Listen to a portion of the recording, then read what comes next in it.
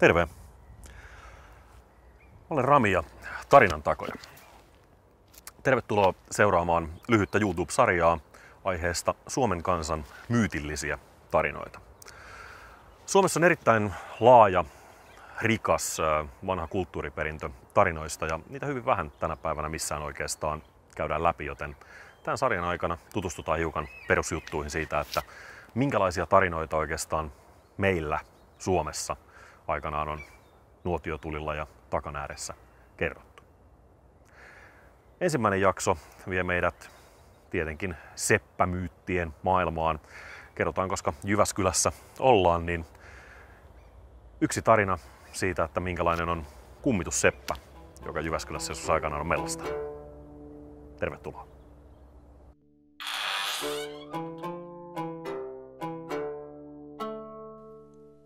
Kivenheiton päässä talosta, jossa asuin, oli paikkakunnan sepänpaja.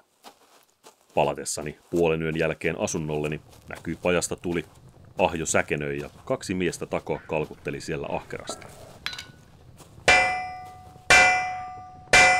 Kylläpä Seppä Aapolla on kiireitä töitä, kun yölläkin on poikineen työssä.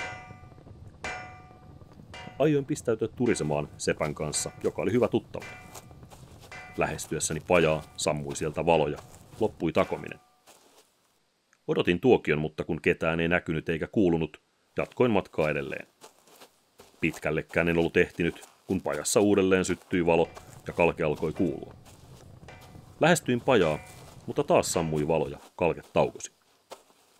Seisoin vähän ymmällä, tuntui niin kummalta, mutta sitten ajoin kuitenkin mennä menojani. Mentyäni taas vähän matkaa, alkoi taas sama kalke ja valo ikkunalla. Mielenkiintoni heräsi. Luulin, että Seppä Aapo pitää minua pilkkaa. On kenties nähnyt minun taloni akkunasta ja piloillaan sammuttanut valon.